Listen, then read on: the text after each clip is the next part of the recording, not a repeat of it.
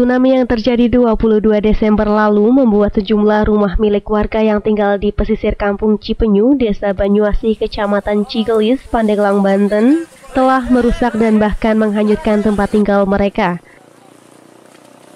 Untuk meringankan beban para korban, Angkatan Muda Pencinta Alam SMK 1 Cilegon kembali menyalurkan bantuan bagi para korban yang terkena dampak bencana alam tsunami Selat Sunda.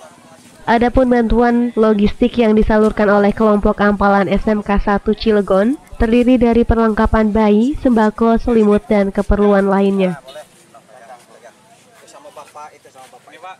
Kalau melihat dari uh, kejadian uh, di sini sangat memprihatinkan karena melihat dari daerah sekitar rumah-rumah dan bahkan tadi saya sempat ngobrol dengan warga sekitar masih ada keluarga yang hilang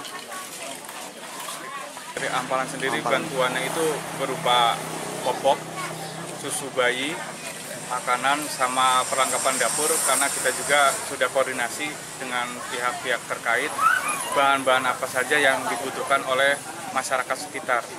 Jadi dana dana yang kita peroleh itu dari anggota kita sendiri, terus dari masyarakat Cilegon khususnya melalui bantuan-bantuan di tempat jalan-jalan.